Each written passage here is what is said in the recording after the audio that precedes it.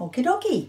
So we have got the middle of our bag and we've got our top and our base. So now what we do is we put our seam to seam here and we put a pin in the halfway mark of our middle of our bag.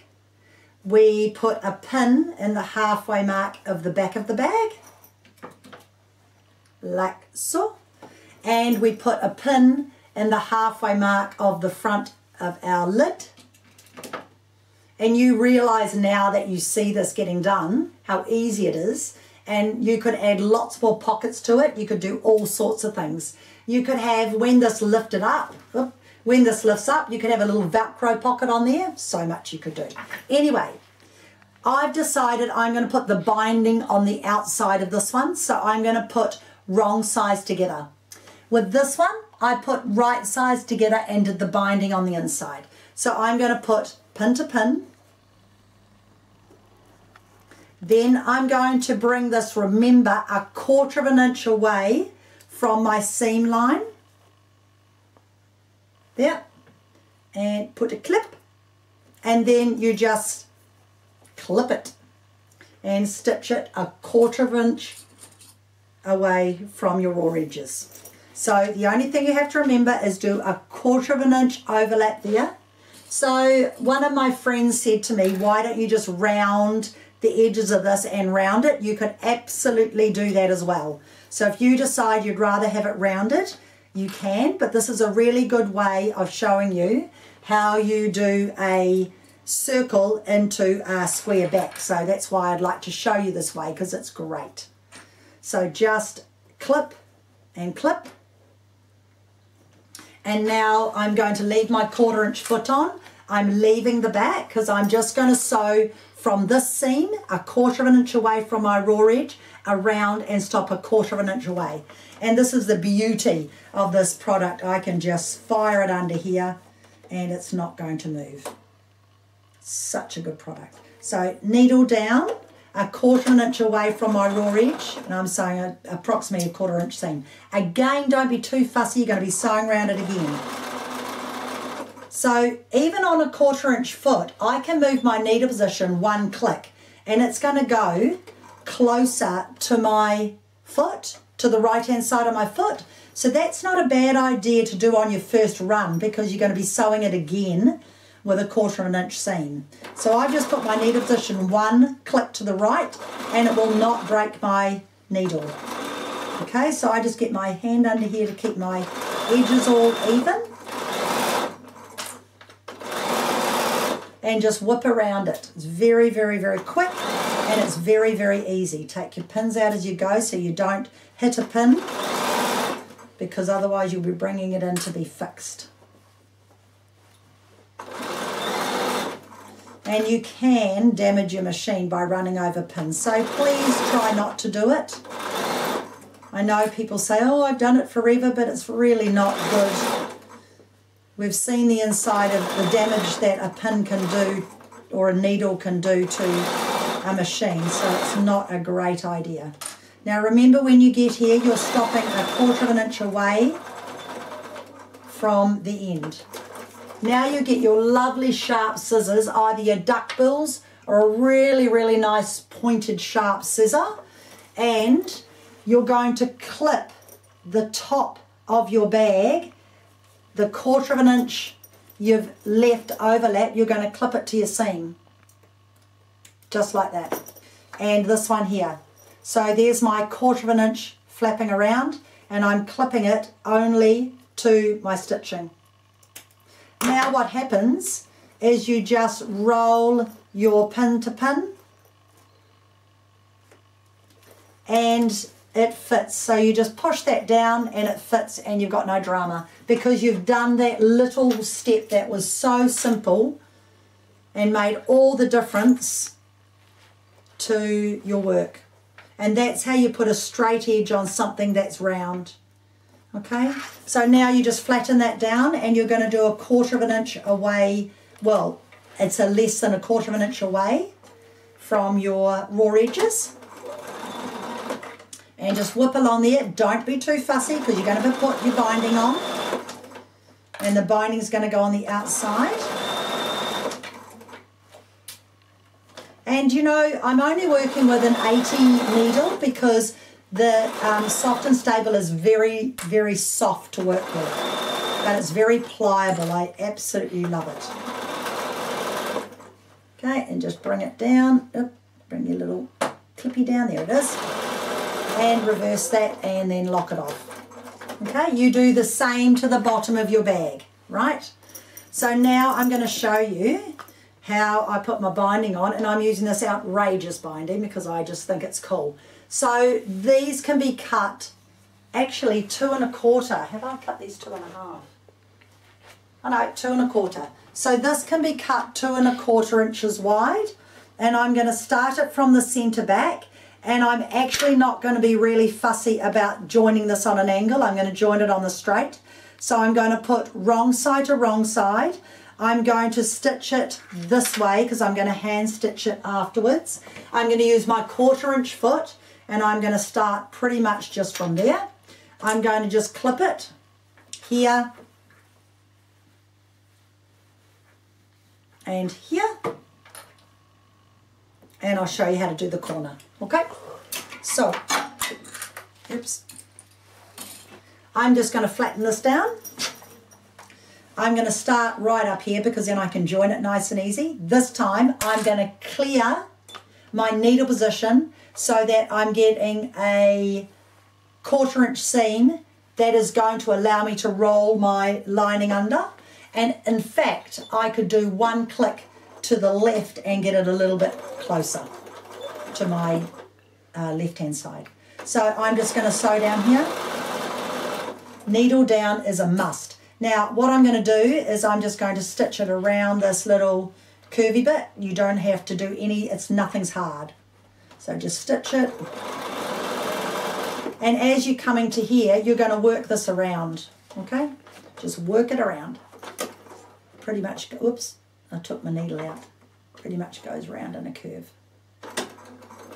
And again, like, like uh, Brenda actually said, you can curve it if you like.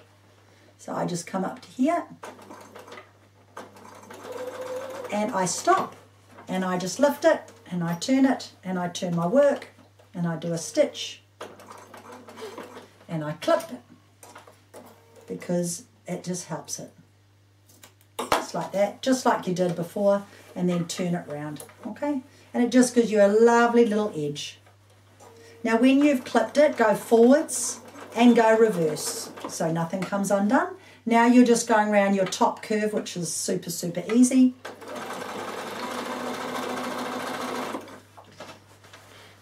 And when you've put your base on and you're doing this, remember to open up your zip. So if I had the base on and I'd forgotten to open up my zip, I would not have been able to get into my bag if I was doing it with right side to right side. For instance, if this was turned in because this is a little bit funny. You think you'd be right, but you just aren't. So if this was turned in this way,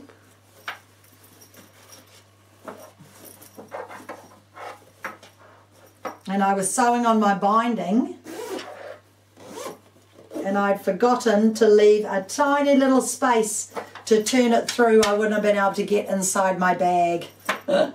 so make sure you leave an opening, a little bit bigger than that would be better, so you can actually get into your bag. Okay, funny. Simple things, simple things. So when you're doing this, you're just keeping your raw edges of your binding together. And because it is just such a gentle curve, you don't need to cut on the bias. And if you want to use bias binding, use bias binding. There is no, there's no rules.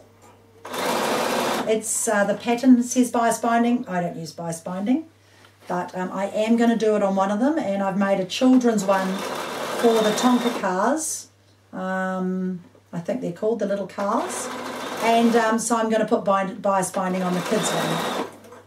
So just do the same thing. Come round, make sure your raw edges are together. It's interesting how different fabrics uh, react differently too. Sometimes you get fabrics and they don't go around curves real well because they might have too much dressing in them or something else, but if they're pre-washed, they'll work. Bizarre. You just don't know. So while I'm doing this, I'm just going to show you some of the other ones that I'm doing and explain a couple of things. Can you see the different heights of these? They're definitely different heights, aren't they? And this is the boys one I'm doing.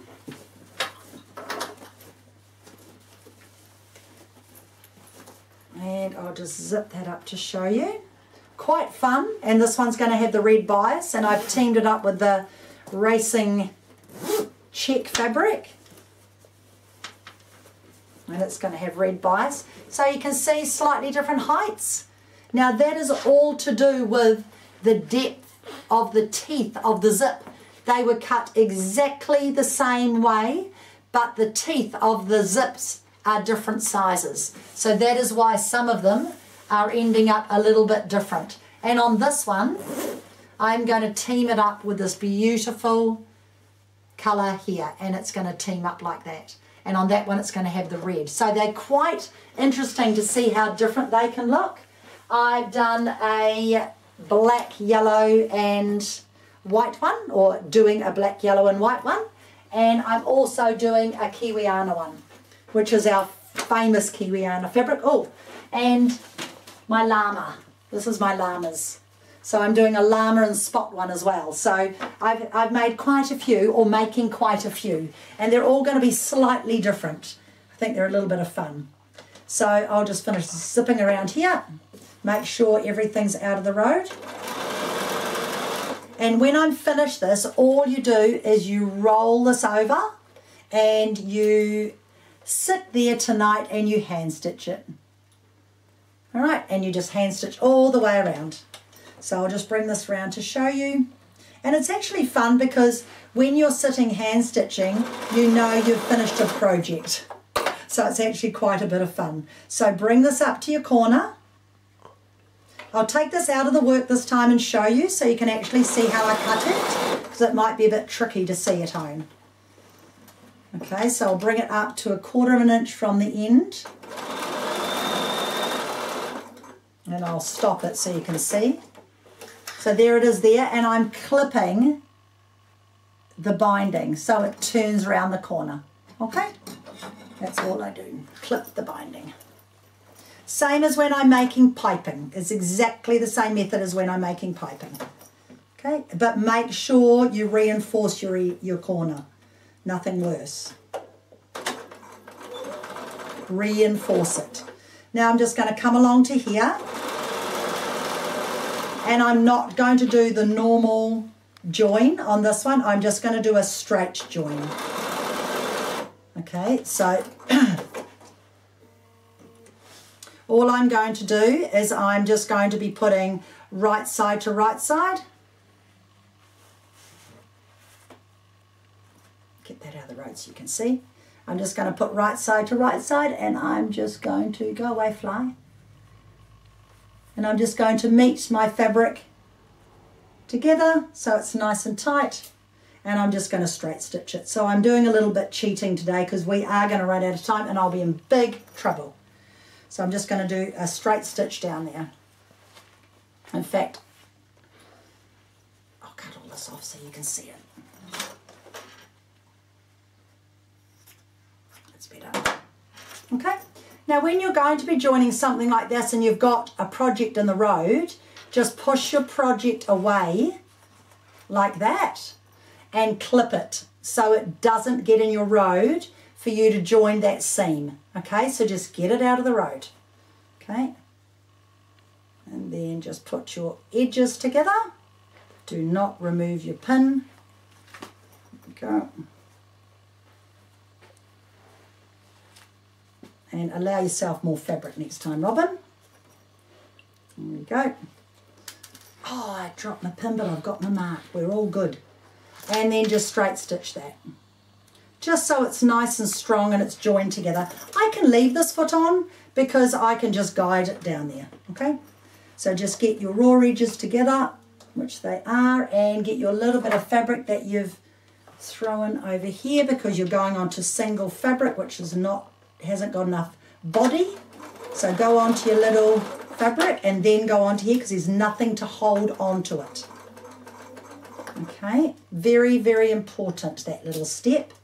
And then come all the way down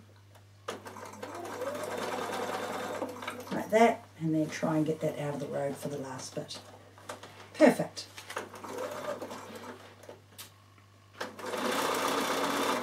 And come on to your fabric. And scissors. Love the scissors. Okay. Trim that one off. Trim that one off. And then trim your excess fabric off once you've checked it's right. I have faith. Go like that. Now all you do with your fabric is you lay it down and you stitch it back together and you have now completed the top of your bag and you do your bottom exactly the same. The base of your carry case, do exactly the same. Okay.